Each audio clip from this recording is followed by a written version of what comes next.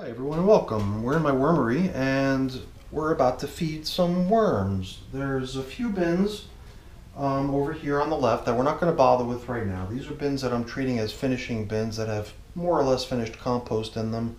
And I'm in the process of trying to bait worms out of those. I got separate videos on that topic. If you're interested, check my channel. The ones we're going to be focusing on today are those bins over there on the right, as well as that little one on the bottom, that little green tub. The green tub is sort of a nursery bin. It has um, European night crawlers in it. That was launched off with cocoons about three weeks ago. And at this point, there was a little bit of food added to it, a little bit of corn, but I want to make sure that there's enough food in there as those little guys start to emerge from their cocoons. I want to make sure there's an ample supply of food for them in there. And then we're going to go through and we're going to feed the remainder of my bins using the normal combination of um, different food items that I have on the ready here. We have uh, some stuff like banana peels and fruit peels and vegetable peels, as well as some slower composting things such as uh, some corn cobs.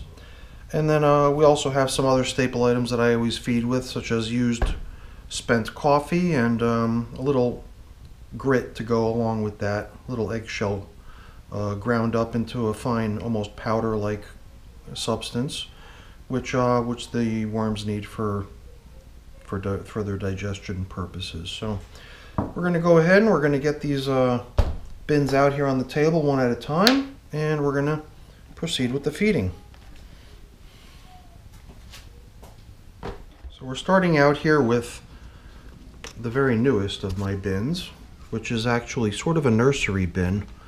And this tub started out not too long ago with only the cocoons of European night crawlers, 500 to be exact, according to Emily, the crazy worm lady. What I tried to do is originally start the bin out with only carbon items, cardboard, leaves, things of that nature. And more recently, I added corn cob uh, with the assumption that once these little guys start getting uh, hatched, they'll uh, they'll be able to eat leaves and paper type bedding material that I laid down in there for them. But I also figured that in time they would also want to start eating some more uh, some corn cob. So I can see a couple of them on here squirming around, little suckers. These guys must have all just been hatched. I definitely don't see too many of them. But there's been enough time at this point, I believe, for most of them to have hatched. So, um, I guess here and there I'm going to spot one. Yeah, and they're so small. Might be a little bit too close, so I'm not sure the focus is going to work out. But you can see even a couple of these little guys have made their way up onto the uh, the paper here. You can see we got some really tiny baby worms cruising around here. And um, the, uh, the food supply, I just wanted to make sure that the corn that I added last time was still holding up okay and that um, everything else was still okay. And it seems like things are in good shape, so I'm not going to disturb these little guys much anymore. I mean, just looking around, you could see worms in different places. There's worms here on this cardboard. There's worms cruising around in between the leaves everywhere. So they, um, they seem to be making themselves at home and um, everything seems to be pretty good in this bin. So I'm going to put this, this one back up on the shelf. I'm not going to add any more food at this point. Maybe next time. But um, so far so good as far as this uh, nursery bin is concerned. Let's cover these guys up and uh, get the next tub out here.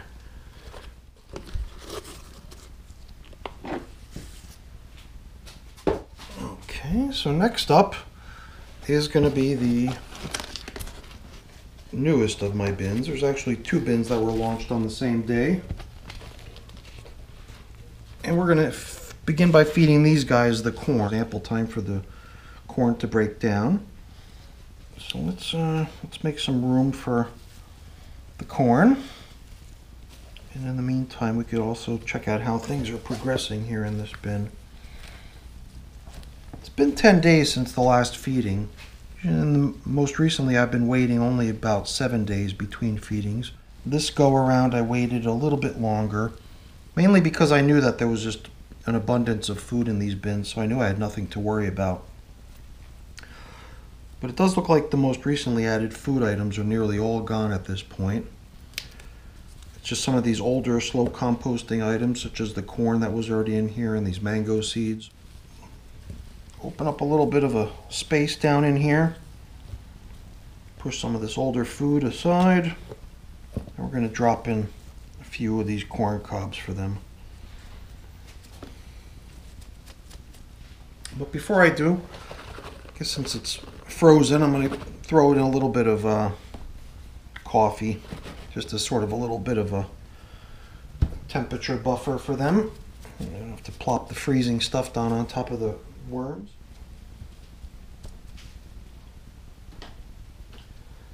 And since there's an abundance of uh, banana peel, I'm going to give them one of those as well. And we're going to throw in a little bit of grit too.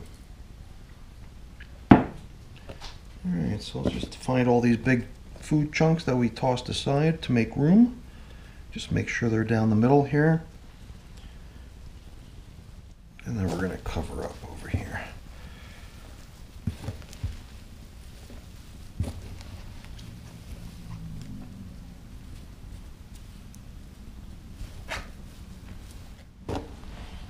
I'm just using this as an opportunity to take a peek al along the outer edges as long as I'm here. It seems like even though the feeding is occurring down the middle, there's just worms everywhere in this bin. So a nice, abundant, healthy population. Doing good. All the more reason to give them plenty of food. And the moisture seems pretty good too. Right where I like it. Looking good. Okay, let's get the next one out here. Oh, this one just doesn't seem to have the weight, even though it's the same age. Maybe I just didn't launch it with as much material. But it is a slightly smaller bin as well. But look at that. I don't know if it's these little pill bugs, these little roly-poly, the round guys. Maybe they're the ones eating up this this coffee filter. They're just going to town on this thing. At some point I might just blend this thing in and turn it into bedding and uh, get myself a fresh coffee filter to be my food marker. Now, let's see, I believe this bin is also got a bunch of slow composting hard items in it, just like the last bin we fed mango seeds. Look at that, a whole bunch of little guys in there enjoying that. Corn cob with um, the typical crowded feeding zone right beneath it. So we're just going to move some of these food items off to the side so we can uh, put in a couple more corn cobs for them.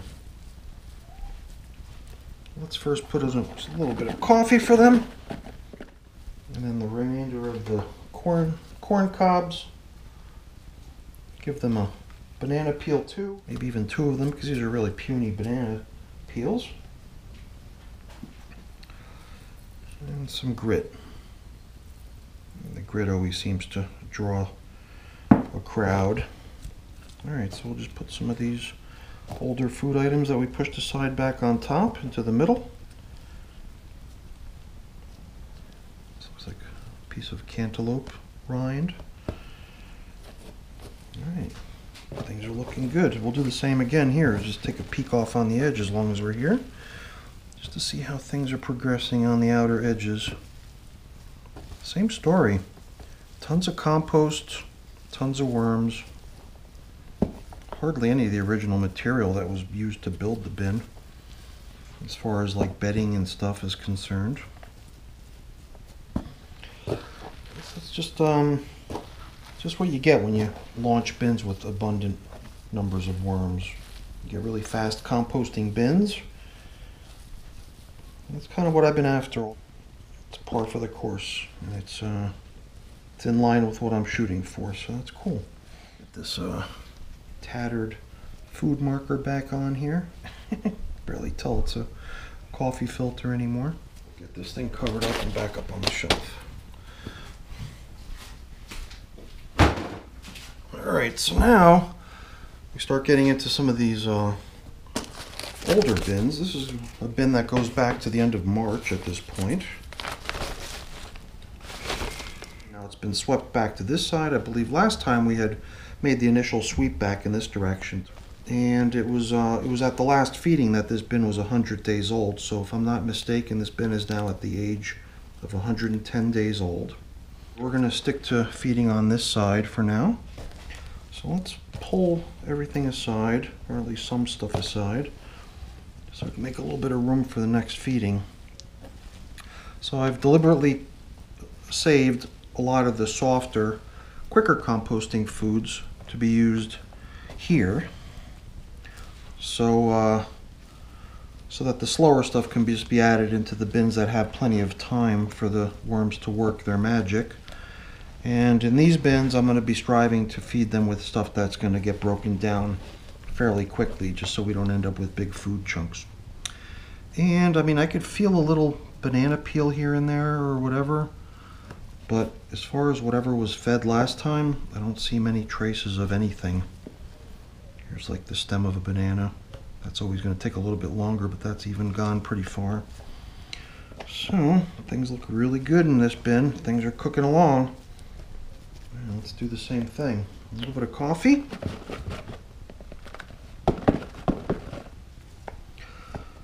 And we're just going to use about half of the remaining food, and there's a whole bunch of it in here, so we're going to give them a good, healthy feeding.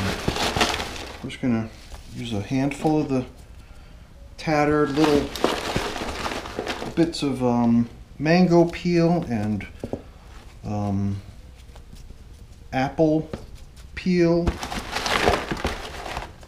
and banana peel.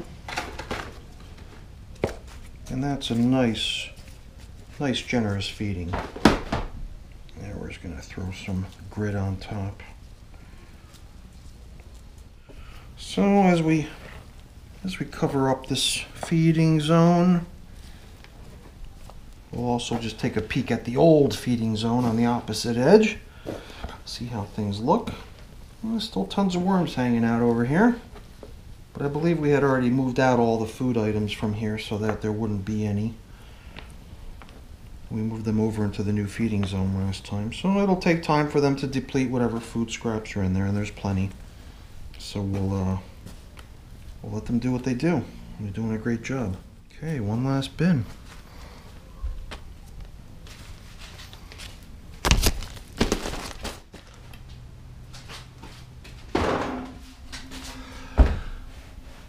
Alright, so if you watched my channel before, you might notice that the pace I'm keeping is a bit accelerated.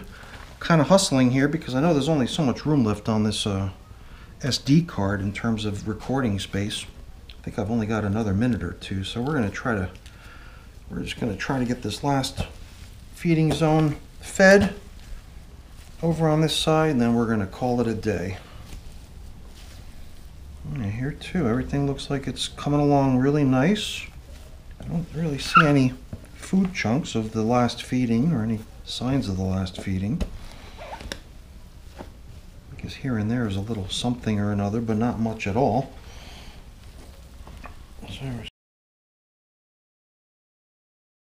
Well, yep, it happened.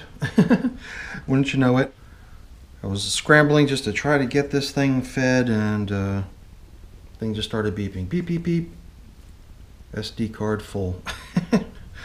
so whatever. The heat, the pressure's off now. I've gone ahead and I, uh, I transferred the video footage that was on the SD card and I wiped it clean. So now I got plenty of room to continue. So um, either way, we're almost done. We only got this last bin to feed and um, we're just going to make a little bit of room over here in the feeding zone side so we can plop in another healthy feeding. So we had a fair amount of food left over in our container. So we're going to uh, We're just going to plop in all the remainder of the food that we have for this feeding. Coffee.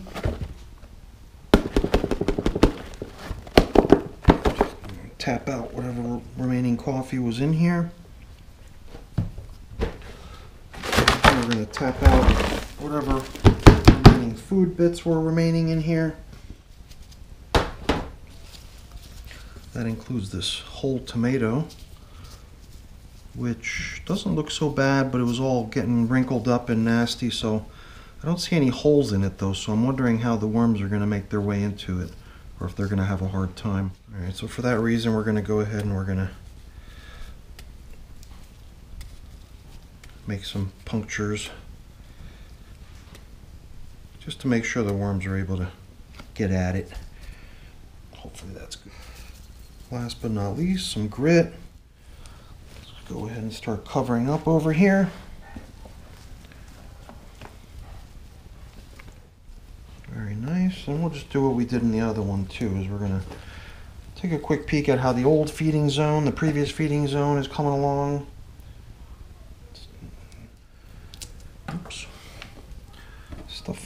All directions. Alright, so yeah, I mean, considering that this was the last feeding zone, it makes sense that there's still tattered food bits all over the place that they're still trying to deplete. So, um, I just figured I'd take a peek to see how things are looking here, and they're uh, they're making their way through the food supply. There's not much left. I don't see many large chunks. Just a, this looks like a piece of uh, watermelon rind, paper thin. I'll just leave it there let them finish it off in place. All right, so that's it for today, folks. Definitely like the way these oldest of my bins are coming along. They're really looking nice. I think it's helping a lot that I removed all the large, slow composting food items from these bins. And that I've only been feeding them with uh, fast composting soft food items. So um, the only thing that's bugging me is all of these seeds constantly sprouting in here. It's funny too because the uh, the guy Newell up on the World Composting website made comments about how he's annoyed with the sprouts, and I said, ah, what's the big deal? Now I'm starting to sympathize with his point of view a little bit more. Let's wrap up for the day. All right, everyone, thanks for watching. If you enjoyed the video, I would definitely appreciate a thumbs up. So, uh, definitely give it a thumbs up if you enjoyed it. And think about joining the uh, joining the channel as a subscriber. This way if you're lucky you'll get a notification letting you know that there's been a new video posted. If you want to make sure you get notified then I believe hitting the bell is the way to do it these days. But that's it for now everyone. Thanks for watching and we'll hopefully see you next time. Bye